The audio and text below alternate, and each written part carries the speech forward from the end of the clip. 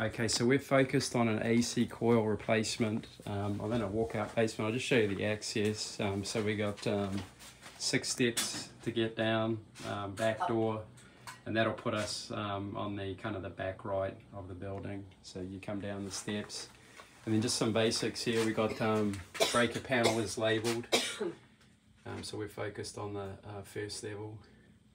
And then you can see that line set that's coming in making its way all the way back.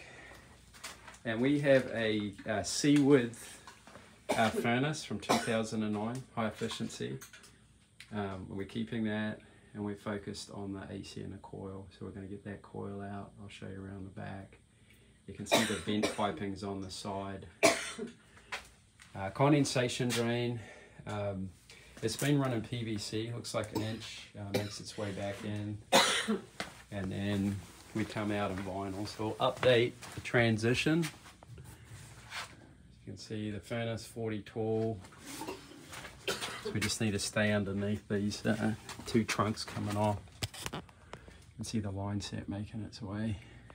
Yeah, so this will be this transition into the PVC, so we'll definitely want to update uh, that at the same time. Get out the coil and then transition back with the the furnace. That's it. Yeah, good good room. You can see from the back we got a good room to work with. Um, so we shouldn't have to I disconnect can, it. I can also move some of that stuff out. Yeah, yeah, we got three foot work area around where we need to be, and we've got good access to get in and out. So we're, we're in good shape here. That's it.